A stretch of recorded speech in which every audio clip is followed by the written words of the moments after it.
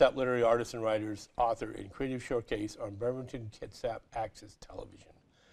I'm your host, Mark Miller. This week, I'd like to welcome Sheila.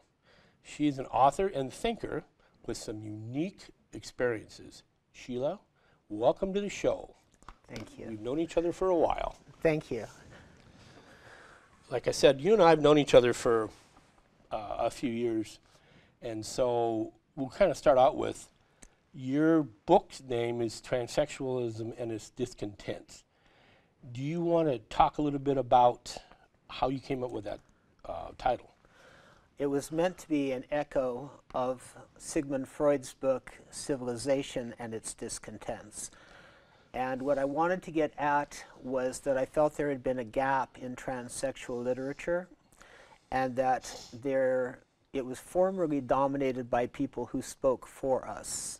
So we were hearing from psychologists, we were hearing from people uh, who would try to encapsulate our experience, but not from ourselves.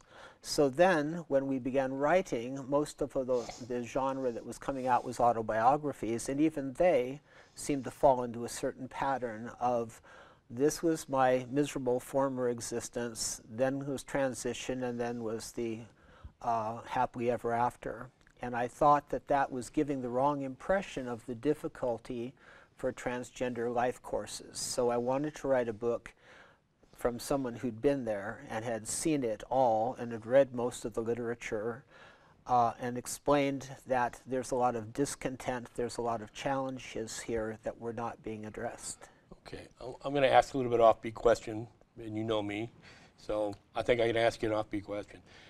How would you compare and contrast your experience with somebody who became for a while a little bit of a poster child for at one time was considered to be quote unquote cross dressing or whatever, and that was Ed Wood, the actor mm-hmm. and the film director and stuff like that, and they made the movie about his life.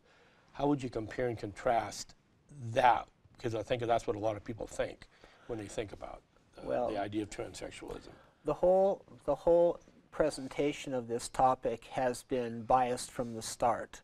Uh, as a result, I feel like our people have been, um, in a sense, hijacked for other people's agendas, and that's still going on to this day.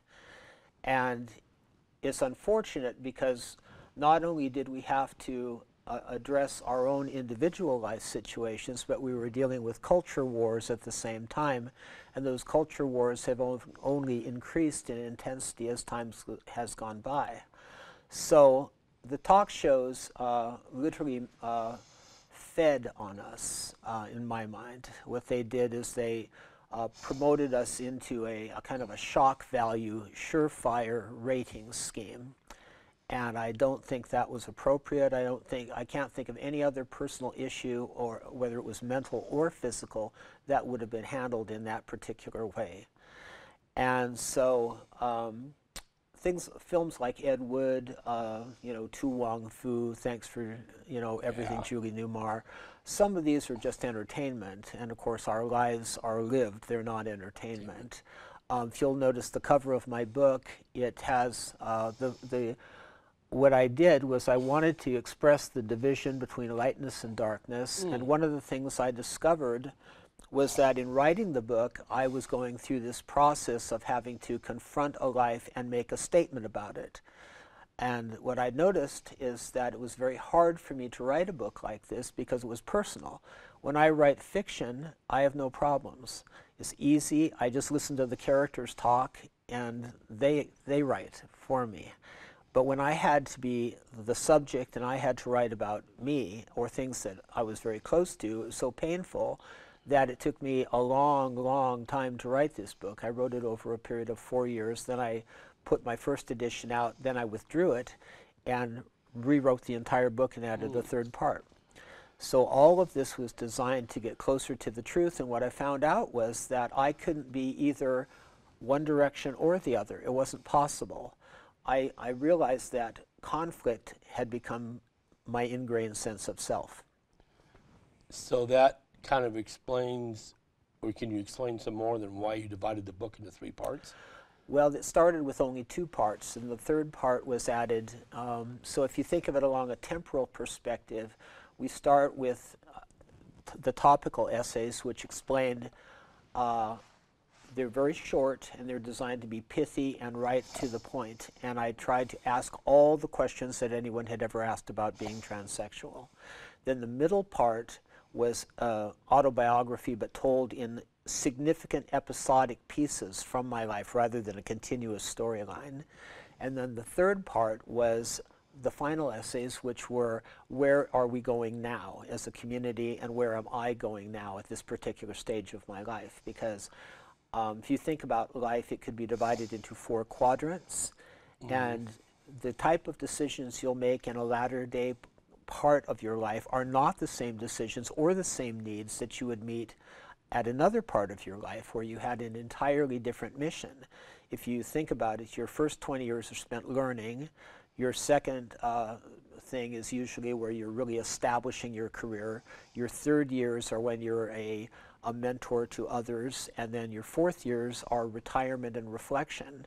And if you're lucky, you get maybe even 20 more at the very end, where you're literally moving into either an afterlife, if you believe in, in uh, religion, or, uh, or if nothing else, you're, you have become a kind of an oracle of the ages at that point. Well, since you mentioned religion, how do you how do you think religion has helped or hurt the whole uh, subject matter? I guess. Well, religion is another one of these areas where we have been called upon to um, to answer for more than what we are. We're, we're asked to be cultural icons. We're asked to be religious scapegoats. We're asked to be people that are so far beyond what our actual power are. Uh, for instance, we're estimated to be 0.6% of the U.S. population, but still about 1,300,000 people. That's a lot of people. Um, and these are people that are living lives just like everybody else, and they want to walk out into the world and not be made fun of, not be victims of violence, not be victims of prejudice. And unfortunately, even our friends sometimes hurt us.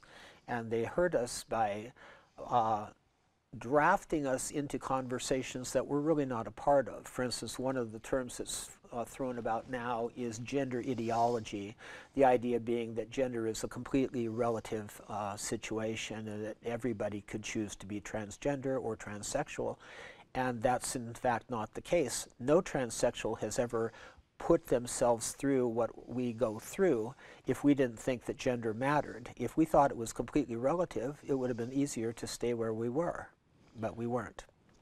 So it kind of comes up with this next question was the idea of notice there's been a big discussion discussion on the World Wide Web about transsexual versus transgender. Um, since you've lived through some of these cultural changes over the years, can you kind of explain the evolution of the terms and what they kind of mean to you? This is the perfect question and the most important one I could answer today, which is the idea that words are not magic. And unfortunately, today we've gotten into the, this, the idea that we can use rhetoric that says certain things are fake and then that we completely discount them by simply applying a name to them. It's fake news. Oh, well, then it must be inaccurate. And why is it fake news? Have you proven this? No. We've just said it's fake news. And similarly, uh, the term transsexual was, in, was invented by Dr. Harry Benjamin in 1966. That was the prevalent term for people like myself all through those years. Transgender at that time was for people who lived as female but did zero bodily changes, no hormones, no surgeries, no nothing. Now, transgender is the all inclusive term for any gender variability, regardless of whether you're transsexual or not. So, transgender is the big term, transsexual is the specific term. Transsexuals were the people that sought medical intervention so that our lives were easier and we felt less of the pain of being in the wrong gender. So that's um, that's the difference. Now, cross dressers and drag queens are two other things that come up. Cross dressers are usually heterosexual. Cross dressers are people like Ed Wood. Um, they are people that are, uh, it, it simply brings a sense of gender relief, but that's it. Uh, drag queens are is kind of a derogatory term. Drag queens apply to people that are usually gay and are usually doing this pr- primarily for entertainment or just within drag culture, which is uh, bigger than just what you would do on stage. But it's it's cer- certainly not the deepest expression of who they are. Whereas transsexuals, it's in it's rooted inside. W- would you say also in each one of these groups, to a certain extent, there may be either some conscious or unconscious stereotype that you're supposed to act a certain way if you take a certain title? Well, this is where gender is, is also becoming fluid because one of the new terms is called non-binary. And non-binary is where you uh, quarrel with the idea that gender is a valid designation in the first place, that gender is oppressive no matter whether you're transsexual or whether you're absolutely straight or whatever. And that's why everybody has some issues with being a gendered person in society because of the expectations. And where do these expectations and imperatives come from? I got 30 years in law enforcement, and one of the unfortunate byproduct of this whole thing is we had to deal with was okay, if I arrest somebody and we're going to have somebody search somebody, we had to be careful that we tried to use the same people with the same anatomy to do the searching and stuff because otherwise somebody would scream and yell at, you know, hey, Right. you're molesting me. Right. And so that's causing even more of a problem now, especially in, in the prison setting and stuff like this, because unfortunately, everybody in every group has those people that wind up, unfortunately, making a mistake or doing something wrong and winding up, you know, incarcerated. Mm-hmm. So I guess the, the, the whole thing about then is how, in your opinion, having lived it, how would you want that kind of subject to be dealt with? Well, see, because we do live in a gendered society, and we also deal in a society that respects personal privacy and bodily integrity, Right. these things come up whenever there's touch involved, and they come up obviously in the restroom situation. The restroom situation has almost co opted our entire existence, and it's really mm-hmm. absurd if you think about it. Thank goodness we're moving to the idea of just gender neutral bathrooms. But unfortunately, that's become the center point. That, that and the, the, the sports issue about whether people have an advantage in women's sports because of testosterone.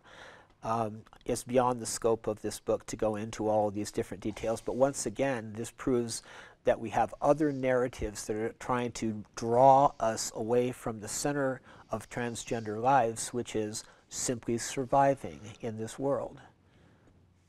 So to a certain extent, I guess, then we can get to the idea that there does seem to be a certain level of lack of discourse on a halfway uh, reasonable way. In other words, everybody seems to be trying to, to stake out a certain side or a certain part. I mean, would you kind of agree agree to that? That's causing some of the problems. It's, it's, it's, a lot of it is, is what you might call social immaturity. Um, um, there have been books that have been written on the idea of what happens with what are called category errors. Category errors happen when we have strict categories and then we have a new experience that doesn't fit into any of the little boxes that we've had. And rather than think about the problem creatively or with compassion, what happens instead is that people try to say, "Here, you are you are you here or are you there?" and then stuff experiences that cannot be addressed by that category into that little box. And I think that that has, it wouldn't matter if it was just a, a purely an, a thing in people's ideas or something that mm-hmm. people can talk about.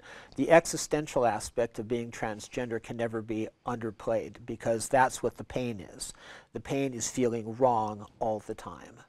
And everywhere you look, you're being reflected back a world that you see as upside down because it doesn't square with your inner So it- experience. So it becomes like a form of dysphoria. It is, and that's why the only term that has been retained by the Diagnostic and Statistical Manual has been gender dysphoria.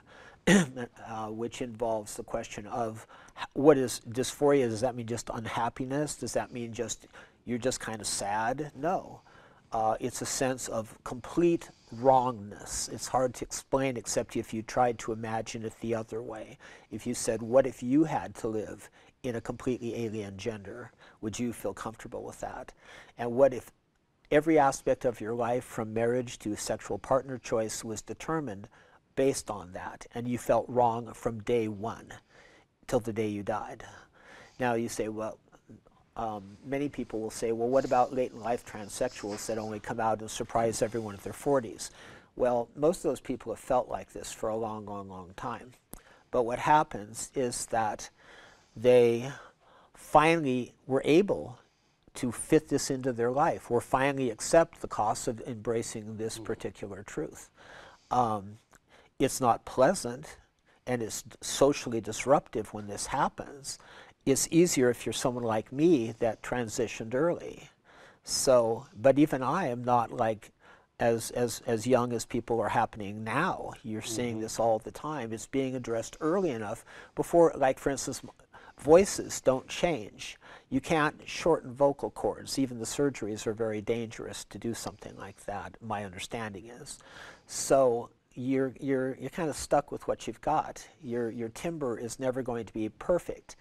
And we do with uh, voices one of the ways that we identify people. And the reason that we identify them is that we put them in little boxes. Uh, the newer generation are, is much less gender conscious, I think, than we still have, you know, people who want to look very pretty or very buff, but essentially, um, people have a lot of freedom that they didn't used to have.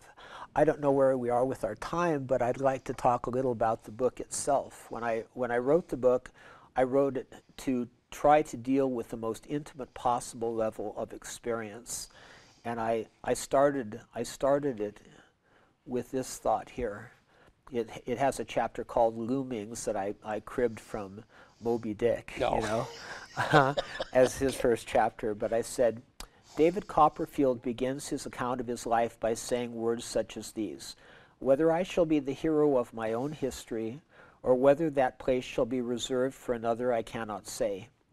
To an extent, every transsexual is a hero of his or her own story for the simple reason that the function of the hero in literature is to encounter a set of challenges which lead to either insight and to victory or to downfall and defeat. To write a book like this, one is to one is I'm sorry, to write a book like this one is to emerge out of silence and let other people enter the private zones of my life.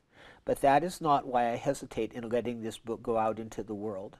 My hesitations are due to my fear that for all my diva pretensions, I do not really want to take on the fearful responsibility of shifting the constellation of the opinions of others in what may prove to be the wrong direction. I would much prefer that my mistakes be confined within the shallow perimeters of my own life. It isn't easy to be transsexual. I feel at times like the character of, uh, character of Ali in my favorite movie, Lawrence of Arabia, pointing out across the great Nefud Desert, which the small band of Arab revolutionaries hoped to be able to cross in order to attack the Turkish port Helt of Aqaba from the landward side. Lawrence asks how much of the desert there is, and Ali says that only God knows, but that after a certain number of days the camels will start to die, and when they die, the men will begin to perish as well. It is a stern moment in the film. There's still time to turn back and to, devi- to devise another plan.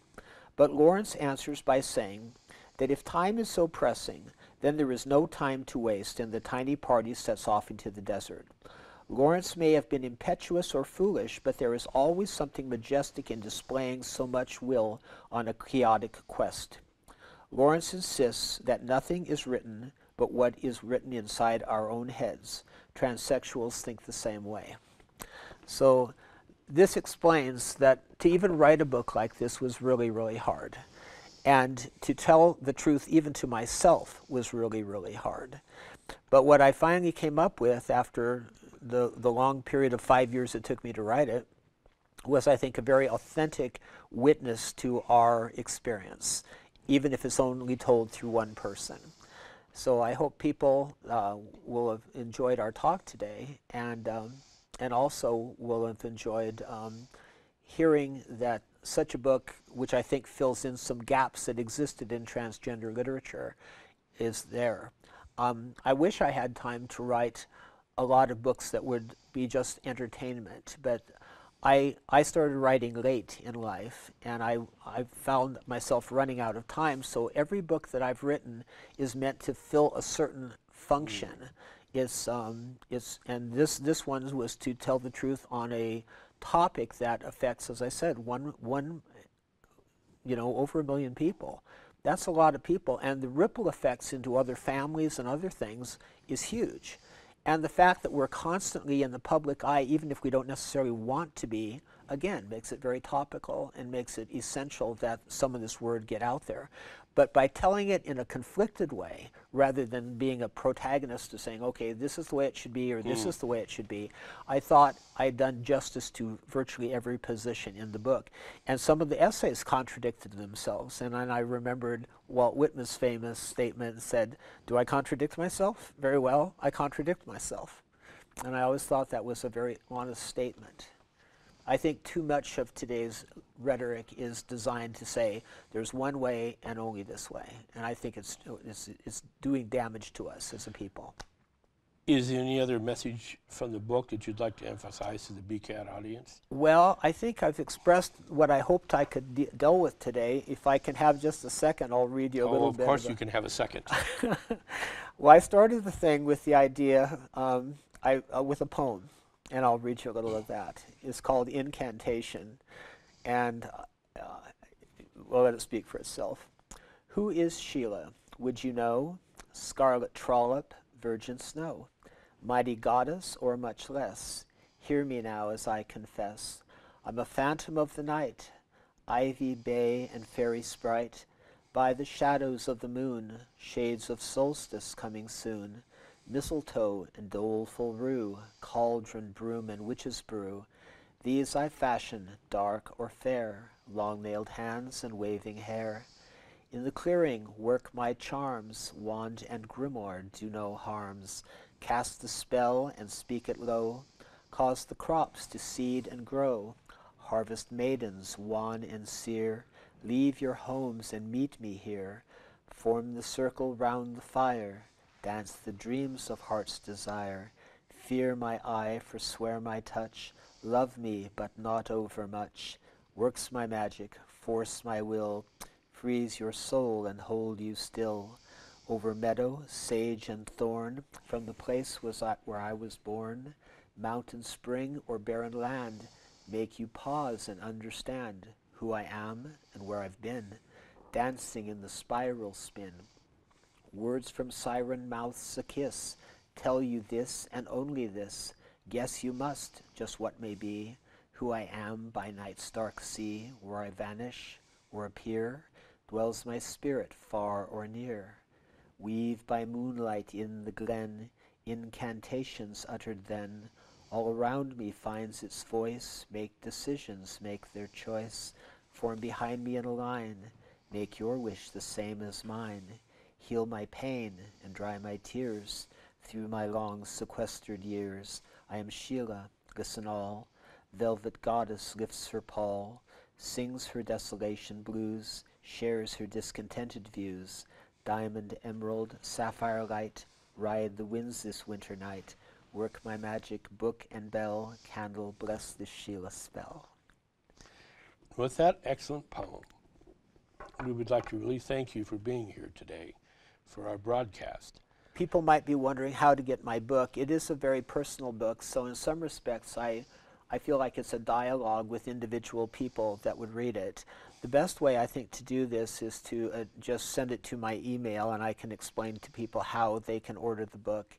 Um, the, the way to do that would be Sheila, that's S H E I L A, underscore in underscore Poulsbo at yahoo.com. And we'll put that on our screen. That would be broadcast lovely. This. Thank you, Mark. Well, thank you very much. Um, this is going to conclude this broadcast of our nice little show that we do every week.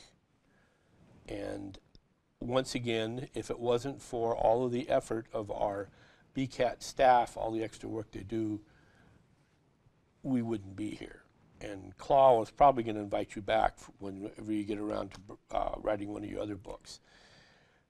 Kitsap Literary Artists and Writers, Bremerton Kitsap Access television broadcast can be seen every Saturday at 6 p.m.